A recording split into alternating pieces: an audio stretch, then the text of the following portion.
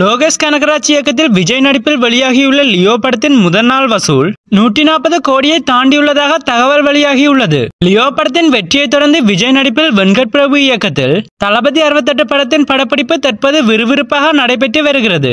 முதற்கட்ட படப்பிடிப்பு பாடல் காட்சியுடன் ஆரம்பித்த நிலையில் தற்போது இரண்டாம் கட்ட படப்பிடிப்பில் சண்டை காட்சிகளை எடுத்து வருகிறார்களாம்.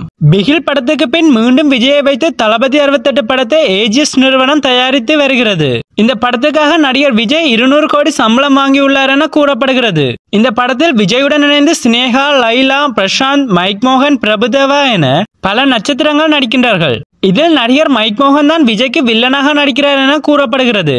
இந்த வில்லன் லிஸ்டில் புதிதாக ஒரு நடிகரும் இணைந்துள்ளார். அவர் வேறு யாருமில்லை நடிகரும் இயக்குனருமான எஸ் ஏ சூர்யா தான். சமீப காலமாக வில்லன் கதாபாத்திரத்தில் வெறித்தனமாக கலக்கி வரும் எஸ் ஏ சூர்யா தளபதி அறுபத்தெட்டில் நடிக்க கமிட் ஆகியுள்ளாராம். மாநாடு படத்தை தொடர்ந்து மீண்டும் வெங்கட் பிரபு இயக்கம் தளபதி அறுபத்தெட்டில் எஸ் ஏ சூர்யா இணைந்துள்ளார். முக்கிய கதாபாத்திரத்தில் எஸ் ஏ சூர்யா நடிப்பதாக கூறப்படுகிறது.